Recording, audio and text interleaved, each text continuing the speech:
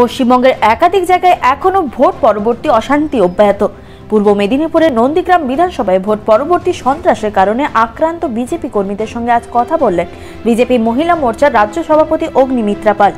শুভেন্দু অধিকারের বিধায়ক কার্যালয়ে এদিন আক্রান্ত বিজেপি কর্মীদের সঙ্গে কথা বলেন বিজেপির রাজ্য মহিলা মোর্চার সভাপতি। নন্দীগ্রাম বিরুলিয়ার কাছে রাজ্য নেত্রীকে কাছে পেয়ে বিজেপি সমর্থকরা তুলে ধরেন তাদের অভিযোগের কথা। স্থানীয় মানুষদের সঙ্গে কথা বলে তাদের পাশে থাকার বার্তা দেন বিজেপি মহিলা মোর্চার রাজ্য সভাপতি অগ্নিমিত্রা পাল। সাংবাদিকদের মুখোমুখি হয়ে বিজেপি মহিলা মোর্চার রাজ্য সভাপতি জানান।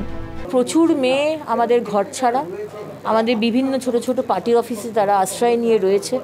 প্রায় দেড় মাস হলো তারা বাড়ি যেতে পারেনি। বাবা একদিকে, মা একদিকে, বাচ্চা একদিকে। বাড়ি ঘর ভেঙে দেওয়া হয়েছে।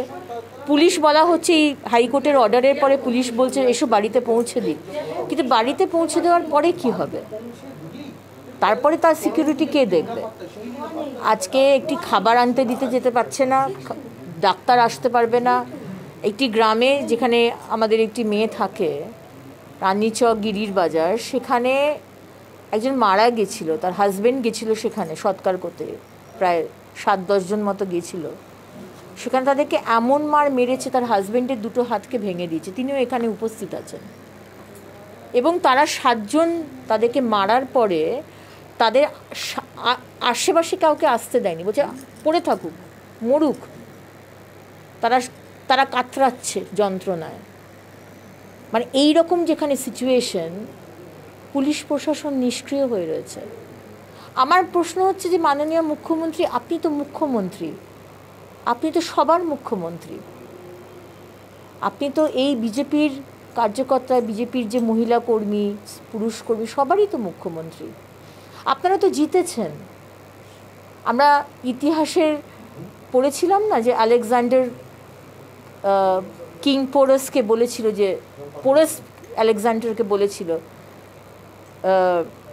আলেকজান্ডার যখন ওনাকে জিজ্ঞেস করেছিল যে কেমনভাবে তুমি চাও যে তোমাকে, তোমার সাথে ব্যবহার করা হোক, পোরাস বলেছিল ঠিক যেমন একজন রাজা অন্য রাজার সাথে ব্যবহার করে। মাননীয় মুখ্যমন্ত্রীর উচিত ছিল। উনি তো অলরেডি মুখ্যমন্ত্রী হলেন তৃতীয়বার।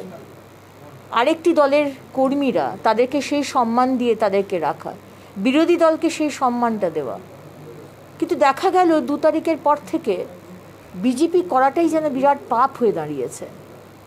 আমরা হারলাম, কিন্তু হারার যে এই সাজা হবে, এই যে এই যে শাস্তি পেতে হবে, এটা কিন্তু আমরা স্বপ্নেও ভাবতে পারিনি সত্যি ভাবতে পারিনি।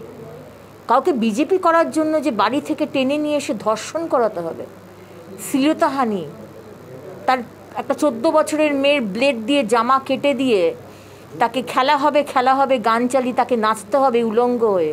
আমরা সত্যি ভাবতে পারিনি এগুলো।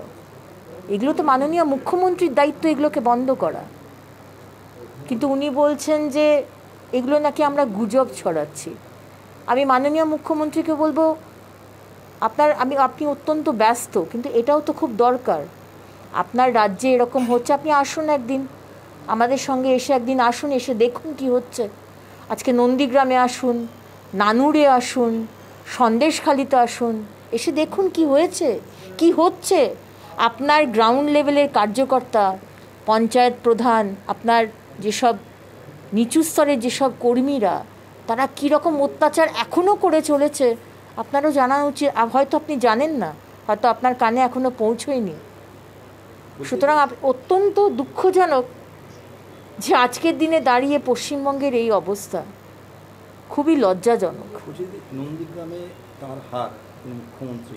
এটাও কি মেনে নিতে পারছেন না? দেখুন, সেটা তো হার তো যে কোনো মানুষের পক্ষেই মেনে নেওয়াটা খুবই কষ্টদায়ক এবং আজকে উনি এত বড় বিশাল একটি ম্যান্ডেট নিয়ে তার পার্টি এসেছে, অথচ তার যে লিডার তিনি জিততে পারেননি এবং এখনও তিনি না জিতে মুখ্যমন্ত্রীর শপথ নিয়ে নিয়েছেন। এটা তো ডেফিনেটলি ওনার কাছে একটি অত্যন্ত দুঃখজনক এবং কি বলব, খুব চ্যালেঞ্জের ব্যাপার হয়েছিল, কারণ কি উনিও চ্যালেঞ্জ ছুঁড়েছিলেন শুভেন্দুদার কাছে। শুভেন্দুদাও চ্যালেঞ্জ ছুঁড়েছিলেন এবং সেখানে উনি হেরে গেছেন। ডেফিনেটলি এটা ওনার কাছে কেন? মানে যে কোনো কারোর কাছেই খুব অপমানজনক হতো এবং ওনা উনি বিইং দ্য চিফ মিনিস্টার ওনার কাছে খুবই অপমানজনক আমার ডেফিনেটলি মনে হয়। সুতরাং ওনার কাছে নন্দীগ্রামটা অন্য জায়গায় হলে যতটা না সেন্সিটিভ নন্দীরগ্রামটা ওনার কাছে অনেক বেশি সেন্সিটিভ হয়ে দাঁড়িয়েছে। পুলিশের নিষ্ক্রিয়তা দেখা যাচ্ছে। পুলিশ তো ভীষণভাবে নিষ্ক্রিয় সেটা তো আমরা দেখতেই পাচ্ছি শুধু নন্দীগ্রামে নয় সারা পশ্চিমবঙ্গে। কারণ কি দেখুন আর্ধেক জায়গাতে পুলিশ কোনো এফআইআর বা জিডি নিচ্ছে না। আর যেখানে এফআইআর করা হয়েছে এখানে যেরকম আমার একটি কর্মী যে এফআইআর করেছে কিন্তু সেখানে তার কোনো অ্যাকশন নেই। মানে এফআইআর ওই কাগজ কলমেই এফআইআর রয়েছে, কিন্তু তাতে কোনো অ্যাকশন নেওয়া হচ্ছে না। মানে তাকে যে সেই সিকিউরিটিটা দেওয়া, আজকে হাইকোর্টের অর্ডারের জন্য মেয়েদেরকে বা কার্যকর্তাদের বাড়িতে ঢোকানো হচ্ছে, কিন্তু ঢোকানোর পরে কি? তারপরে তার প্রোটেকশনটা কে দেখবে? কারণ কি তারা ভয়ে রয়েছে যে আজকে এই সরকার, আমরা যদি কোনো বিজেপি কর্মীকে বাঁচাতে যাই, পুলিশ জানে যে আমার ট্রান্সফার হয়ে যাবে। আমি যদি আগ বাড়িয়ে কাউকে যদি প্রোটেকশন দিতে যাই, পুলিশ জানে আমাকে এখান থেকে ওখানে ইউনো ট্রান্সফার করে দেবে। তো সেইখানে মানে পুলিশ সামহাও আমার মনে হচ্ছে যে সে তার কাজ করতে পারছে না, বা সে তার কাজ করছে না। এবং সে কারণেই আজকে আমাদের ছেলেরা বলুন, কার্যকর্তারা বলুন, মেয়েরা বলুন, তারা হাইকোর্টের অর্ডার দেওয়া সত্ত্বেও তারা ভয়ে বাড়িতে ঢুকতে পারছে না। কারণ তারা জানে যে পুলিশ বাড়িতে ঢুকিয়ে দেওয়ার পরেও আজকে যে থ্রেটেনিং আসছে টিএমসির দল থেকে, যে তোমাকে মার্ডার করে দেওয়া হবে, তুমি যদি তৃণমূলের ফ্ল্যাগ না ধরো, তুমি যদি তৃণমূলের পার্টিতে, পার্টি অফিসে এসে মুচলেখা না লেখাও, তুমি যদি পঞ্চাশ হাজার টাকা না দাও, তুমি যদি এক লাখ টাকা না দাও, আপনি তো জানেন একটা টাকা দিতে হচ্ছে। তুমি বিজেপি করেছ তার জরিমানা দিতে হবে, পঞ্চাশ হাজার, পঁচিশ হাজার, তিরিশ হাজার, এক লাখ। নন্দীগ্রামে এই মুহূর্তে ঘর ছাড়া বহু মহিলা নন্দীগ্রামে জিতলেও ভারতীয় জনতা পার্টি সরকার গড়তে পারেনি। তাই প্রতিনিয়ত আক্রান্ত হতে হচ্ছে বিজেপি কর্মীদের। প্রশাসনের কাছে অভিযোগ জানিয়েও কোনো লাভ হয়নি। এমনটাই জানায় নন্দীগ্রামের আক্রান্ত বিজেপি কর্মীরা। জেতার পর থেকে আমাদের নন্দীগ্রাম জিতেছে ঠিক কথা। কিন্তু পশ্চিমবাংলায় আমাদের তৃণমূল সরকার জিতেছে। সেই কারণে আমরা বিজেপি করার জন্যে আমাদের দিকে অনা মানে প্রতিদিন বাচ্চাও পর্যন্ত ছাড় পাচ্ছে না। একজন মহিলা একজন মহিলা মুখ্যমন্ত্রী হয়ে কীভাবে মহিলার দিকে অত্যাচার করা হচ্ছে সেটা আমরা কিন্তু জলজান্ত দেখতে পাচ্ছি। কারণ কি? একটাই অপরাধ আমরা বিজেপি করি বিজেপি কর্মী। তো এটা কতদিন চলবে? আমাদের এইটাই প্রশ্ন মাননীয় মুখ্যমন্ত্রীর কাছে যে আপনি বলেছিলেন বাংলা নিজের মেয়েকে চাই।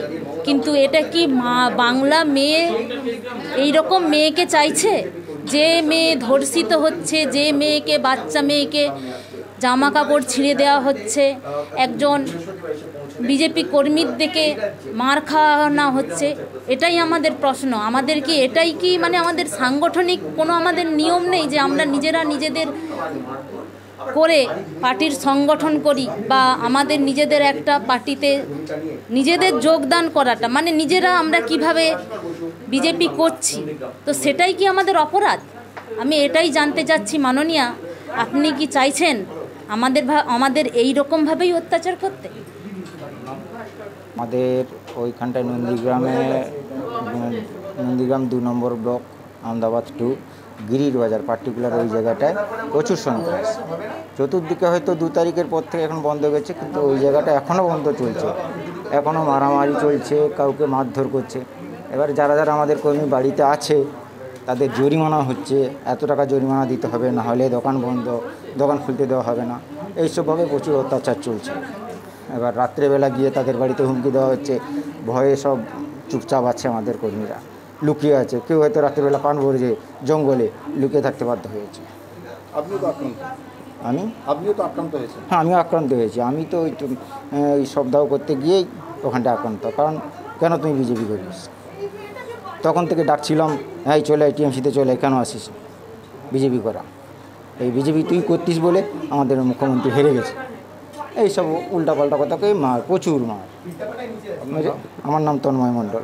আমি একজন মহিলা হয়ে একটাই কথা বলতে চাই, যে মহিলারা যেভাবে অত্যাচারিত হচ্ছে, যেভাবে মহিলাদের গায়ে হাত দিয়ে হাত দেওয়া হচ্ছে এমনকি যে সমস্ত মহিলারা বিজেপি করতো, তাদেরকে একদম প্রকাশ্যে বলছে, বিজেপি শাড়ি খুলে তাদের উপরে অত্যাচার করা হচ্ছে, রাস্তায় নেমে। এইবারে আমি একজন মহিলা হয়ে বলব, একজন মাননীয় মুখ্যমন্ত্রী, উনি জিতেছেন, আমরা ঠিকই আছি, খুশি হয়েছি। উনি একজন তো মহিলা, উনার কি কর্তব্য? যে মহিলাদের উপরে অত্যাচার হচ্ছে, উনি কি এগুলো কিছুই দেখতে পাচ্ছেন না? না, কিছু জানতে পাচ্ছেন না। তাহলে একজন মহিলা হয়ে আজকে যদি উনি আমাদের মতন মহিলাদের উপরে এত অত্যাচার করেন তাহলে আজকে আমাদের পরিস্থিতি কি? কোথায় গিয়ে আমরা দাঁড়াবো? কার কাছে বলব যে আজকে আমাদের হাল এই? আমাদের পাশে কেউ নেই। টিএমসির লোকেরা যদি আমাদের আমাদের মতো মহিলাদেরকে দিনের পর দিন অত্যাচার করছে, গ্রামের মানুষরা কীভাবে আছে? সে যে গ্রামে থাকে, সে একমাত্র জানে। বাড়ির বয়কট, যাকে বলা হয় এক বাড়ি থেকে অন্য বাড়িতে যাওয়া বন্ধ। যে মানুষ বাড়িতে ধরুন পানের বাগান আছে, সে বাজারে পান নিয়ে যাওয়া বন্ধ। ওষুধ পরিষেবা বন্ধ, গাড়ি ঘোড়ার পরিষেবা বন্ধ, ঘরের বাইরে পা রাখা বন্ধ, জলের পরিষেবা বন্ধ, সমস্ত পরিষেবা বন্ধ করে দিয়েছে।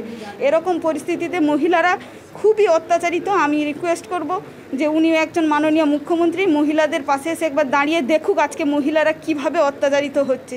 আক্রান্ত বিজেপি কর্মীরা এদিন নেত্রীকে কাছে পেয়ে তুলে ধরেন তাদের অভিযোগ। কবে স্বাভাবিক হবে নন্দীগ্রামের পরিস্থিতি? কবে বন্ধ হবে এই রাজনৈতিক সংঘর্ষ? সেই দিকে পথ আছে নন্দীগ্রামবাসী। পূর্ব মেদিনীপুর থেকে সমীরণ সাউ রিপোর্ট, আনন্দ বাংলা।